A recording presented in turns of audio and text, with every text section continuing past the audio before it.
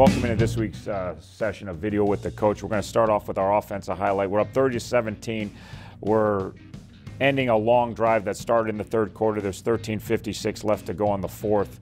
Uh, this is this is going to highlight basically toughness. And, and every time we recruit a kid, since we've been here, we talk about is he tough? Does he love football? And doesn't regardless of position, toughness. It's a tough game. Uh, they're going they're going to try to blitz us. We know the blitz is coming. Uh, we get ourselves in the right protection here. We're going to be fanning. They're going to bring a corner blitz, and we have it picked up. We actually just physically miss a block. Sam McCullen, who had a fantastic football game, actually just misses a block. And now you got a situation right here, as you're going to see.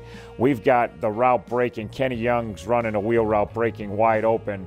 But at the same time, right now, 45, who's their best pass rusher by far, is bearing down on Gus.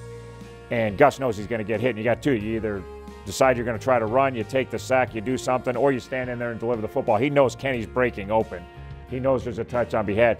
You'll see Gus right here just stand in there, take the hit, deliver a strike. Kenny Young shows his versatility with a huge touchdown catch. And it looks easy. Everybody in the stands just sees a wide open touchdown catch until you see the end zone copy and you see what, what Gus was staring down the barrel at right here.